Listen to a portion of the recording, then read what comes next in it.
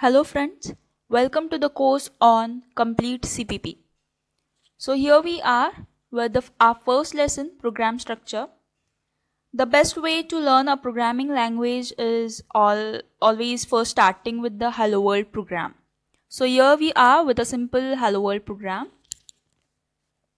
These first two slashes indicate the comment in a program and the text after it is a comment. It is always inserted by a programmer and it has no effect on the behavior of the program and its output. Programmers use them to include short explanations or observations uh, concerning the code or the program. You can write these comments anywhere in the program before it or after any uh, semicolon etc. It gives a complete overview of the code to the one's person viewing it there are two types of comments in a program and those two those two types are single line comment and multi-line comment. Single line comment uses forward two slashes and multi-line comment uses a single forward slash with a star following it and ends with a single star and a forward slash Thus, here in the program we used a single line comment. The next line of code is hash include IO stream. Hash includes IO streams are the directives read known as the preprocessor directives.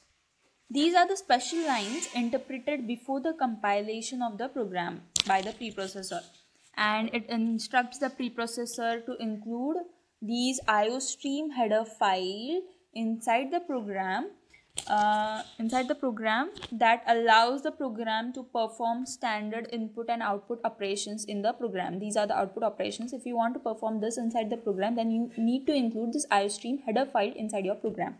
There are many different header files uh, like iomanip math stdio stdlib lib etc The next line of code is the int main line. This is the function declaration line.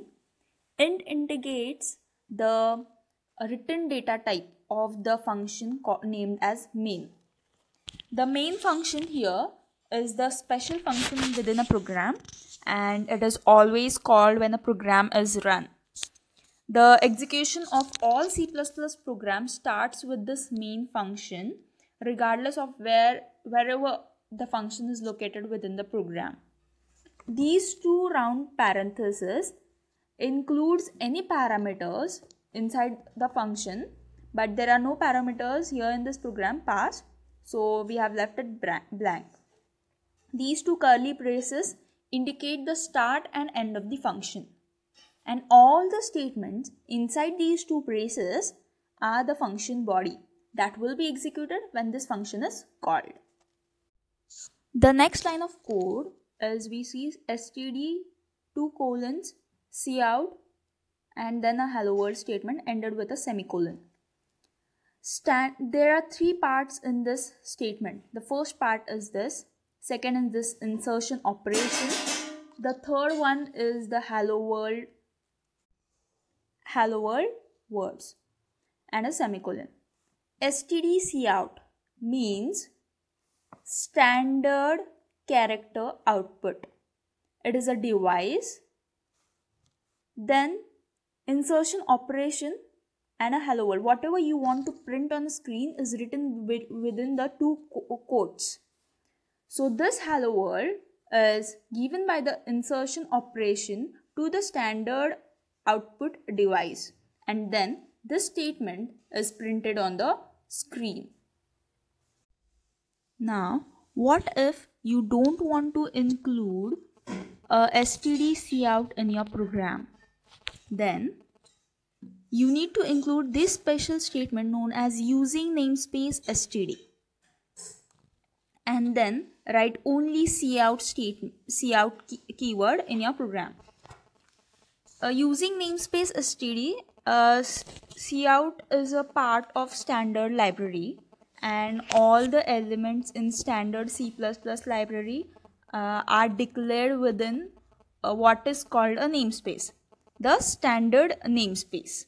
This declaration uh, mainly allows the elements uh, in the std namespace to be accessed in an unqualified manner in this manner uh, without the standard prefix we see here so here we make unqualified uses of cout so whenever you need to write only cout you need to include this using namespace std ending with a semicolon.